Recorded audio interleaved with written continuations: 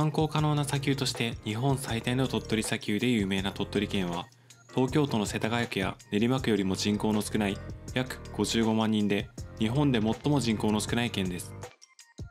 今回はそんな鳥取県から生まれたガイナーレ鳥取編です。ガイナーレ鳥取は2022年現在鳥取市米子市倉吉市境港市を中心とする鳥取県全県をホームタウンとして J3 リーグを戦っています。ホームスタジアムとしてアクシスバードスタジアムや中部やジンスタジアムを使用しています。ガイナーレ鳥取の起源は1983年にまで遡ります。1983年鳥取県内の教職員チーム鳥取教員団サッカー部として創設され1985年に鳥取県リーグ1部で初優勝します。1987年に中国リーグに初昇格しますが1988年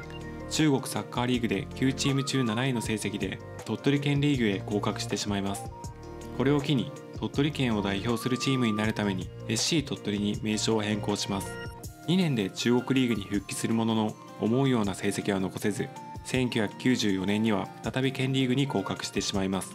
しかしそこから県リーグ3連覇し1998年に再び中国リーグに戻ると1997年には天皇杯に初出場し2000年に中国リーグ初制覇。同年全国地域サッカーリーグ決勝大会へ初出場し決勝ラウンドに進出し JFL の自動昇格圏の2位以内は逃したものの全国社会人サッカー連盟推薦で JFL 昇格を果たしました。JFL の壁は厚く初年度は年間2勝の最下位に終わりその後も JFL 下位に低迷し中国リーグへの降格が危ぶまれるシーズンが続きます。2005年にはガイナーレで選手としても活躍した当時の GM 塚野さんが J リーグへの挑戦を表明します。2006年12月に株式会社 SC 鳥取が設立され2007年2月に J リーグ準加盟が承認され現在の名称ガイナーレ鳥取に改称します。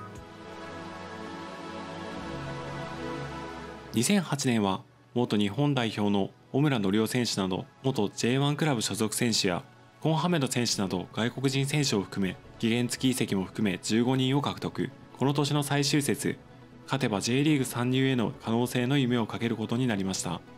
当時の相手流通経済大学は宇賀神智也選手や船山孝之選手染谷優太選手など後に J リーグで活躍する選手を有するチーム。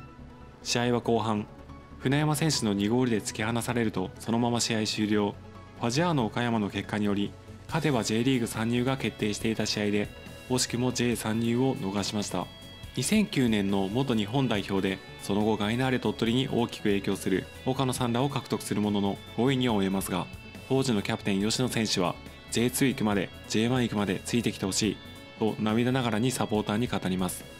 その翌年の2010年前期を開幕から14戦無敗で首位に立つと後期10節アルテ高崎に勝利すると J2 参入条件である JFL の4位以内を確定させ第12節栃木グーバー FC に勝利し JFL 史上最速の残り5試合の時点で優勝を決めました。ホームでは年間17試合無敗と圧倒してのシーズンでした。そしてその年の11月 J リーグ臨時理事会で J リーグ入会が全会一致で承認されついにガイナーレ鳥取の2011年シーズンからの J2 参入が決定しました。J2 に参入した2011年は勝ち点をなかなか詰めず4月24日の北九州戦に勝利し J リーグでの初勝利を挙げるものの最終成績は8勝7敗23敗の19位と壁が厚く翌年2012年も総失点78点と苦しみ20位。2013年年間成績22位の最下位によりその年から開催される J3 リーグへの入り替え戦で JFL の蒲田回り讃岐と対戦します。この試合を1分け1敗で終え J3 への降格が決定してしまいました。これをきっかけに岡野選手は引退。悩んだ結果 GM に就任することになります。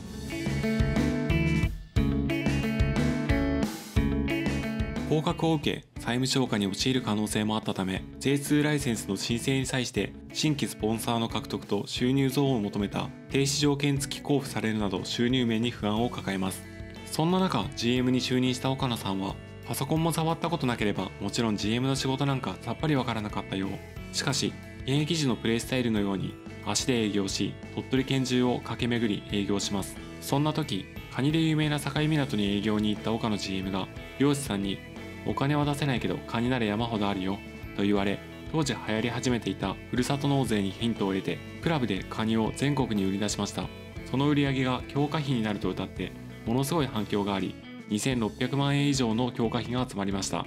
この資金を使ってフェルナンジーニョ選手やレオナルド選手を獲得することになります。今も続くこのプロジェクトは野人プロジェクトとして今もスイーツやお肉など季節ごとお礼品を一新しながら続いています。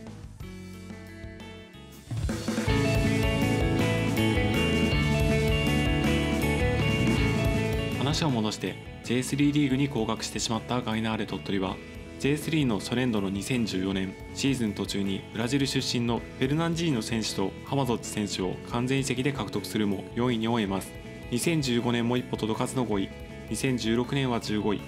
2017年は最下位に沈みます。2018年はブラジルよりやってきたレオナルド選手が大活躍。24得点を挙げるなどしましたが惜しくも3位でシーズンを終えました。その後2019年7位2020年5位2021年12位とあと一歩及ばない成績が続き年々レベルが上がってきた J3 においては苦戦を強いられる状況になっています。2021年5月には金・ジョンソン監督が就任し2023年の続投も確定しました。2022シーズンは序盤からなかなか勝ち星を上げることができませんでしたが夏以降からガラッと変わったように感じます。まるで別チームのような躍動感やアグレッシブさが加わりそれが戦術的な面なのかメンタル的な部分なのかは僕には分かりませんがこの状況で来年はさらに向上していたなら J3 で上位争いを落ちていたガイナーレ鳥取が戻ってくるはずです。地方はどうしても企業数や経済規模の違いから資金調達が難しくなるもの。そんな中工夫を凝らし野人プロジェクトでは目的をはっきりとクラブ強化に充てると謳っている点も商品の購入動機になりますし個人的なことになりますが昔ガイナーレ鳥取の取り組みについてツイートした時にガイナーレ鳥取からリアクションももらったことがあります。小さなことではありますがそういうこともすごく大事だと思いますし SNS の取り組みについても注力しているのが伺えます。来季以降の活躍や取り組みについても期待しています。今回はこの辺でご視聴ありがとうございました。それではまた次回。